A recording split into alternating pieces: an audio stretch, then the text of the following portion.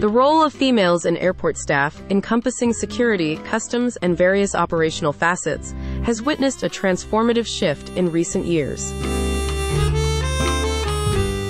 Traditionally dominated by male personnel, the aviation industry has increasingly recognized and embraced the invaluable contributions of women in these crucial roles.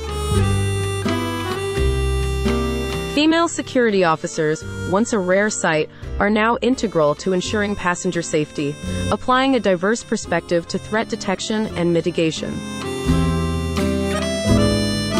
In customs, women play pivotal roles in inspecting and regulating the flow of goods, showcasing meticulous attention to detail.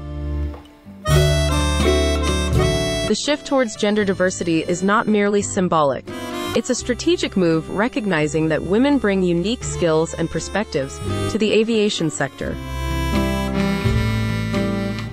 Initiatives promoting inclusivity and breaking gender stereotypes have resulted in more opportunities for women in these positions, fostering a workforce that better mirrors the diversity of the traveling public.